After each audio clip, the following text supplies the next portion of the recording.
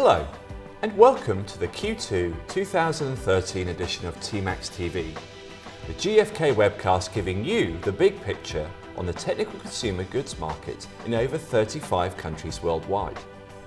Today, we'll be looking at the main developments from the second quarter of 2013.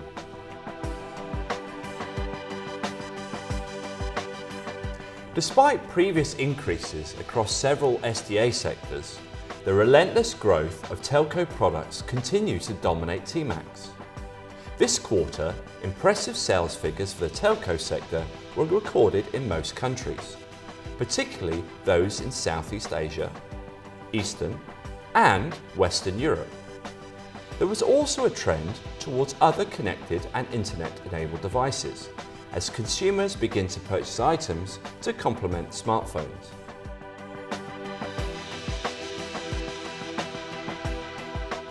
Unsurprisingly, the telco sector spearheaded growth within the Western European technical consumer goods market.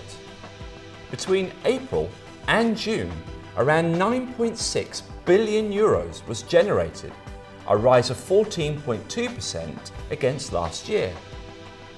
The smartphone market is gradually becoming more saturated. However, manufacturers are trying to counteract this by launching new models. This broader choice is creating a slight knock-on effect for some consumer electronics products. People are now starting to think more about buying connected and internet-enabled devices for their homes. As a result, sales of smart TVs are showing promising signs, particularly in Germany. Audio devices, such as docking stations, are also experiencing a rise in demand across the region.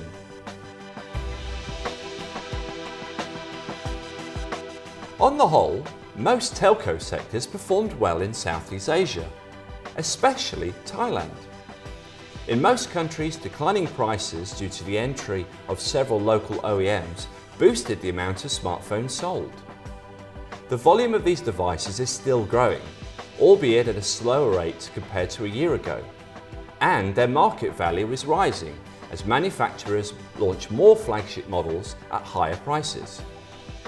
If this trend continues, perhaps we'll begin to see a shift towards bigger, connected devices in the future.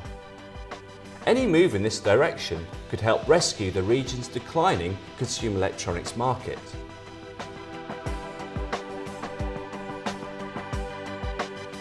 Meanwhile, in Eastern Europe, telco remains one of the most influential sectors, with Kazakhstan pitching in with a solid 19% increase.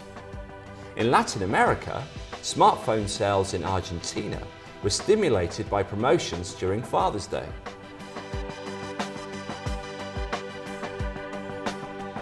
That's your update for Q2 2013. Following IFA Berlin this month, both manufacturers and retailers will have high sales expectations for innovations launched at the event. As the year progresses, watch out for potential smart and 3D TV increases. However, demand for these products may not explode until 2014, when the FIFA World Cup will be held in Brazil. You can now find all country reports and press releases on the website gfk.com/temax. See you next quarter.